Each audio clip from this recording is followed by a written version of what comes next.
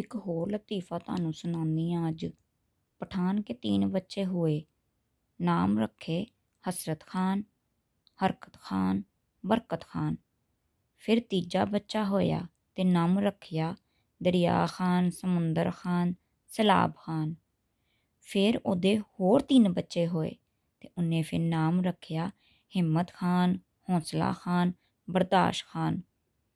ਫਿਰ ਜਦੋਂ ਹੋਰ ਤਿੰਨ ਬੱਚੇ ਹੋਏ ਤੇ ਬੀਵੀ ਨੇ ਕਿਹਾ ਅੱਜ ਵਰ ਅੱਜ ਮੈਂ ਨਾਮ ਰੱਖਾਂਗੀ। ਬਸ ਕਰ ਖਾਨ, ਹੋਸ਼ ਕਰ ਖਾਨ, ਰਹਿਮ ਕਰ ਖਾਨ।